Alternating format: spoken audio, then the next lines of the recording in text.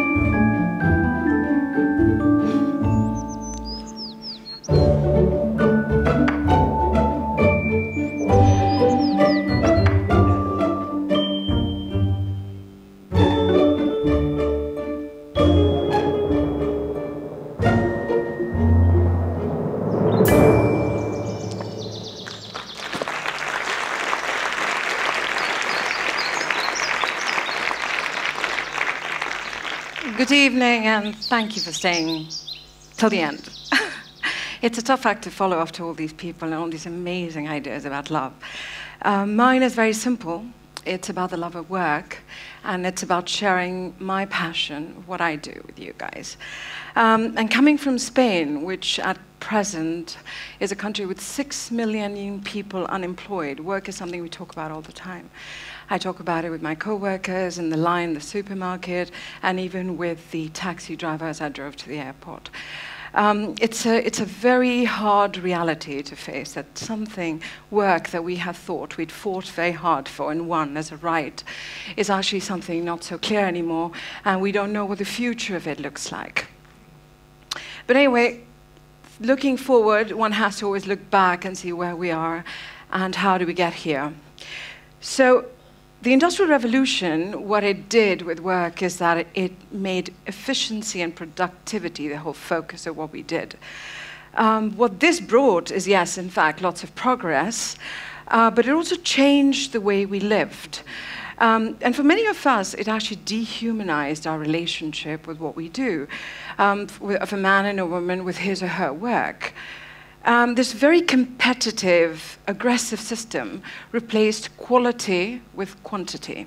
Skill and craftsmanship was replaced with discipline and anonymity. Quality of work was defined by the quantity of your output. In fact, quality of life was measured by the quantity of things you had to have. And somewhere along that journey, for a lot of people, work became struggle, in fact, slavery.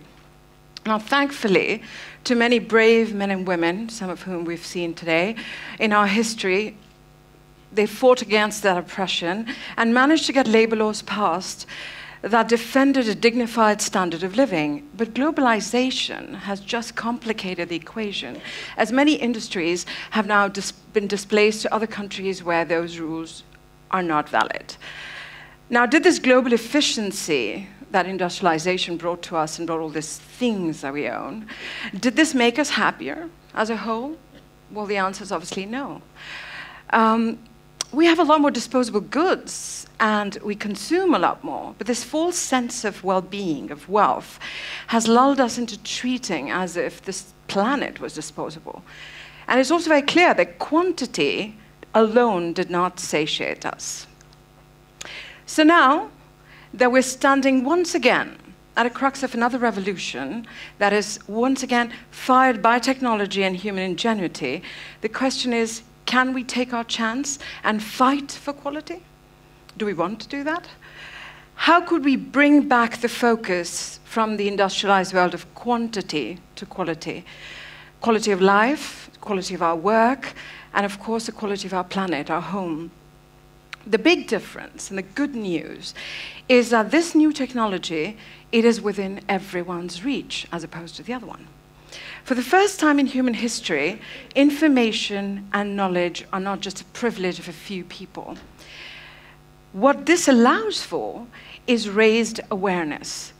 Once you and I are aware of injustice or inequality, it is difficult to turn away and not stand up and in solidarity and want to fight against it. Once you've heard of stories of heroism and selflessness in the face of dire circumstances, it is impossible not to stand up and applaud and be inspired and want to do something about it. Awareness that we're not alone. Awareness that our problems are not only ours and maybe not that unique. It also helps put things into perspective to encourage us, to empower us, to, to help us share, to engage and make change happen. And today, for the first time, at the tip of our fingertips, we have technology that can allow for more transparency and traceability. Two concepts that I believe are very, very important, especially when it comes to fair play in any situation. And in this realm of tr using transparency and traceability in the realm and relationship of our work, it empowers a worker like never before because truly credit can be given where credit is due. People can work in large groups and still sign their own work. Now, this idea really intrigued us. We've been talking about it. You know, in Spain, we've been living, um, as in Italy, um, a so called crisis for the last five years. And talking about this, we said, what could we, little fashion design company do about that? How did it change us? What did that mean for us? We talk, we complain, can we do something about it?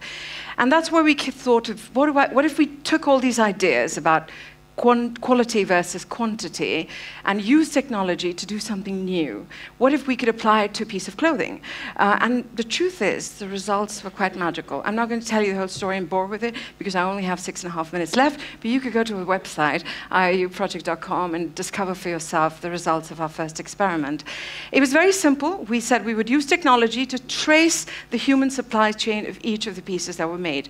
Why? Because we want to celebrate the work of these people and the love that they had the things that they did. We want to reveal to the final consumer who had made the product and how it was made, who was behind the service, and how and why they did it. We wanted to humanize the relationship with what we consume. We want our big mission was we wanted to promote responsible consumption. And how do you do that? You make a thing a story, you make an object more human, you try to make something disposable into something engaging so it's harder to throw away. What we saw that it allowed for was authorship and responsibility, where there had been opacity before. The really, one of the really cool stories that I love to tell people, when we started working on the project and we worked with one of the largest cooperatives in India, where there's over 250,000 handloom weavers weaving the Madras fabric, um, the third month, we started to receive less fabric. And that was quite alarming because we get our fabric in containers by sea to try to reduce our carbon footprint. And we called and said, hey, what happened? Is everything okay? And the answer we got from the cooperative heads was, well, the weavers now see that their picture comes up against their piece of fabric. They're being more careful. They want to make it perfect. That was amazing. We had, in some way, returned pride back to these people in their work purely by acknowledging their authorship. People we also saw could work in larger groups and still retain their individuality. We bring all this fabric back to Europe. We cut and sew everything in Italy, Spain, and Portugal. Um, I'm Spanish European now, and I have lived through the last 10 years of how work has disappeared from here, especially in my industry. In 10 years, we in Spain have one of the largest companies in the world today, very profitable, which was started by producing everything in Spain. And less than 10 years, they've taken all their business overseas. And what that has left behind is people who go to design school and then get out of there, just fold t shirts at their stores because they don't have an alternative. Because there are no factories left anymore because there's no product made here, which means it's very little opportunity for design students.